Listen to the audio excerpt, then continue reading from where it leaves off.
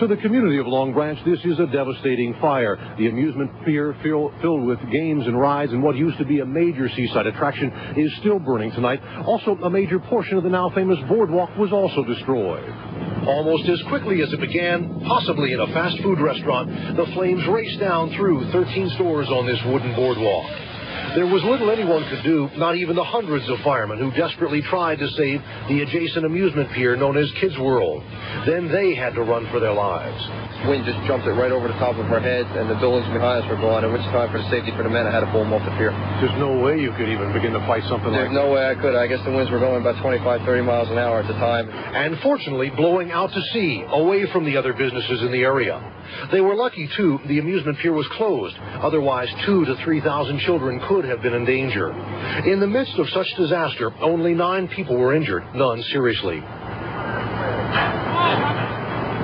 Tonight, firemen still found in the smoldering ruins pockets of fire. And for the owners of businesses, they discovered their losses and a helpless feeling.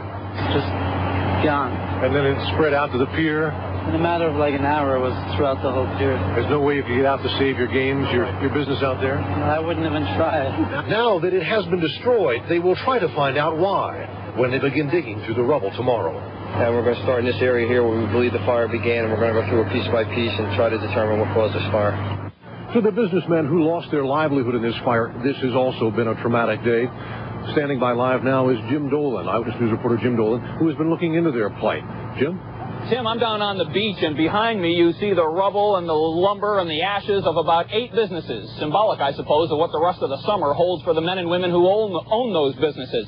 Economically, the timing just could not possibly have been worse. On Friday, school lets out, and on Saturday, the tourist season begins. And right now, merchants all over Long Branch are trying to figure out just how big a disaster today's fire was. Economically, the summer went down in flames and up in smoke for at least eight businesses along the boardwalk of Long Branch today. And all that's left of the pier, a major attraction here, is a skeleton.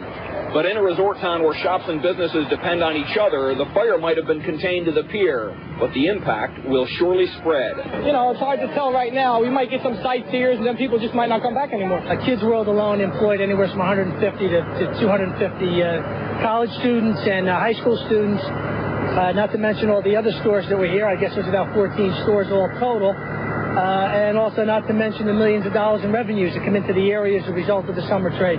No question, very serious impact. There are those who are more optimistic and even taking advantage. Already, this T-shirt with a photo of today's fire is on sale.